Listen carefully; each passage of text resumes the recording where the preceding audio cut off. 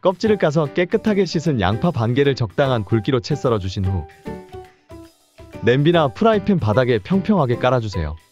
벌써 쉽죠? 네. 300g짜리 두부 한 모를 잘라주시는데 12조각 정도면 먹기 좋은 사이즈가 딱 나오더라고요. 이제 자른 두부를 양파 위에 쪼로로록 올려주세요. 이렇게 올리면 보기도 좋아서 더 맛있을 거예요. 마늘 반 스푼, 참치 액젓 3스푼, 고춧가루 한 스푼 넣고 물은 400ml 정도 두 컵을 넣어주시면 될 것 같아요. 저는 빨리 먹고 싶으니까 뜨거운 물 부어줬어요. 마지막으로 향긋한 들기름을 두 스푼 넣어주시는데 들기름 좋아하시면 4스푼까지 괜찮답니다. 그리고 센 불로 불을 켜고 끓여주세요. 팔팔팔 끓어올라 양파가 있고 두부에 양념이 배어들었으면 대파 반 개를 어슷어슷 썰어 넣어주세요. 대파를 넣은 후 한 소끔 끓어오르면 이제 취향껏 후추를 약간 첨가해 주시면 된답니다.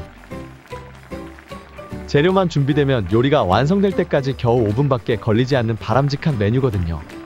두부로 할 수 있는 제일 쉽고 안전한 요리가 아닐까 싶은데 어떻게 생각하세요?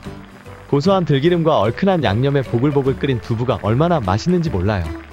찌개인 듯 조림인 듯 밥도둑 같은 한 그릇으로 한 끼 뚝딱 행복하세요.